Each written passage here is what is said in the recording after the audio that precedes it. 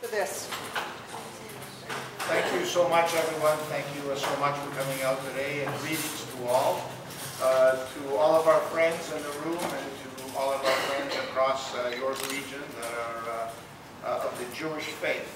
I wish a very meaningful fast today on the holiest day in the Jewish calendar. It is Yom Kippur.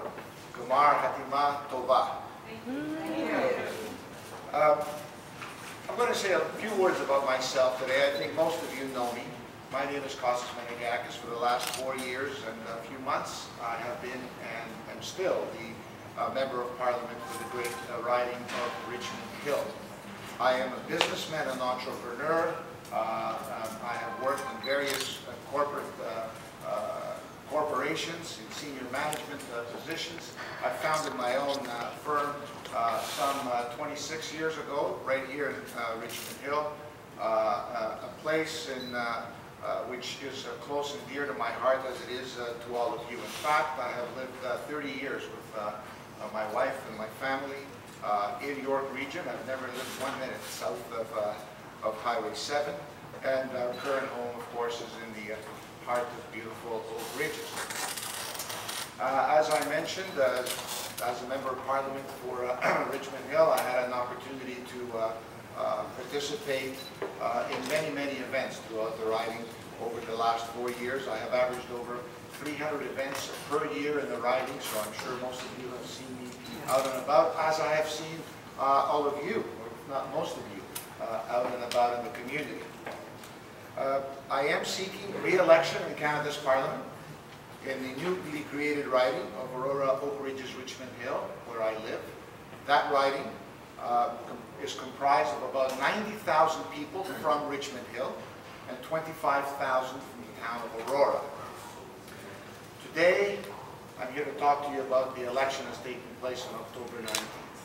It is an important election. All elections are important, but this one is particularly important because we are living in a, in a, in- in a world where there are troubled times uh, uh, on many fronts. Our conservative government has focused on doing what is right for Canadians, has focused on, on doing what is good for Canadians' families from coast to coast to coast across the country. And certainly, our focus has been on the economy, as it is in our platform going into this election, throughout this election process. The Canadian economy is doing very well compared to what we see in nations around us and around You don't the world. I'm In fact, first two years that we took office, 2006, 2007, we paid down $37 billion of national debt before the global economic recession hit. And we are, uh, we- we are in a position to say that in 2014-15, one year earlier than anticipated, we have balanced the Canadian budget with a surplus of $1.9 billion. And the first three months of this new fiscal year, we have a $5 billion surplus. We are on the right track, and we need to stay on that right track as organizations like the International Monetary Fund and the OECD, the Organization of Economic Cooperation and Development, have said that Canada continues to lead the G7 in economic growth and will do so over the next few years. We do that how? We do that by keeping taxes low, personal taxes low, corporate taxes low. In fact, tax rates, federal tax rates in Canada today are the lowest they've been in over 50 years. The last time they were this low, John Diefenbaker was Prime Minister of Canada. That is a fact, and we have done that by working collaboratively with our provinces and our municipalities to ensure that important services continue to be provided to Canadians. Transfers to provinces, in the province of Ontario, Ontario, for example, when Prime Minister Stephen Harper became Prime Minister of this country, were $10.8 billion. This year, they're in excess of $20 billion, an 88% increase to the province to continue to provide support in important services education, for example. I'm delighted that our school trustees here with us today, uh, healthcare, and so many other things. We have also worked very collaboratively with the municipalities, and as the member of parliament for Richmond Hill, I can tell you I've had nothing but an extremely very beneficial uh, and very uh, uh, productive working relationship with the leadership in the town right here in Richmond Hill, from Mayor Dave Barrow and all of the councilors across the board. We have provided record investments in York Region for infrastructure, job creation, and community activities. Things such as the York Region Viva expansion. Things like the Richmond Hill GO Station, the Aurora GO Station. Uh, so many other projects that have been funded that you don't really see the federal money unless you read it. For example, we recently opened up the new 500,000 square foot maintenance and operation facility for Viva uh, in Headford, Headford Park, right here in Richmond Hill, a facility that houses 138 buses and services all of York region. It's absolutely wonderful. We have also doubled the gas tax fund. We have indexed it. This is money that comes to the municipalities. The town of Richmond Hill receives $5.4 million this year from the federal government.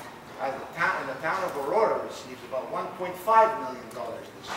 Six this is actual money that goes to the municipality, that the municipalities use to uh, expand local infrastructure and, and renovate and improve local infrastructure projects in, the- in uh, uh, the towns. Things like park improvements, arena improvements. But we don't have to look far to see where these investments have gone. We are in this facility. The federal government put $2 million in this facility. Many of you may not know, but our government puts in uh, uh, significant dollars every year for the operating expenses of this very place where we meet every Tuesday morning. Uh, We put $733,000 for the renovation of the Elvis Stojko Arena, $2.4 million into the Oak Ridges Community Center, a beautiful facility, and so many other projects around the town. We have provided significant programming for seniors, for youth, and for communities across this wonderful region. And as a member of parliament for, uh, for Richmond Hill, I have been blessed to have had the opportunity to do that and to be able to work with communities as we work together collaboratively to make sure that funding for these very important projects came from the federal government, over 30 seniors groups, for example, community centers, and so forth. It is important that we understand that we live in the fastest growing community in the country. York region is 1.2 million people. It is about 100,000 people more than the entire province of Saskatchewan. And that's why it is important that we all work collaboratively for the better, for the, the good of all of us living in this, in this region. But I don't want to stop there. I realize my time is uh, somewhat limited this morning. We have made record investments in the environment. We know that economic development and environmental stewardship are not mutually exclusive. In fact, they go hand in hand. Our federal government has invested $12 billion for clean air technology, for green infrastructure, for so many things that make our environment better and we'll continue to do so. I work very closely with the uh, Oak Ridges Moraine Land Trust Fund, for example, for local projects and local asks of the federal government that we've been able to get from the federal government that will continue to put focus on this very environmentally and ecologically sensitive jewel, if you will, in south, southern Ontario. We have also taken a leadership role on the world stage with respect to security. We have done that in our communities by passing over 30 pieces of legislation that make our streets and our communities safe for all of us.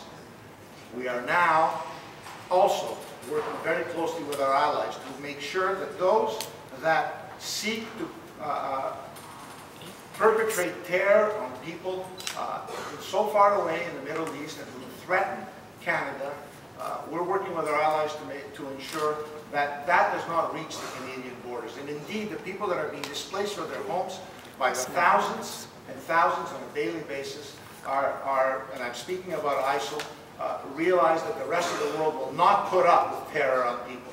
We live in a country and in a community that is very diverse, in a community where we respect each other, we love each other, irrespective of where somebody came from, what language they speak, or what culture they, they, they, they uh, follow.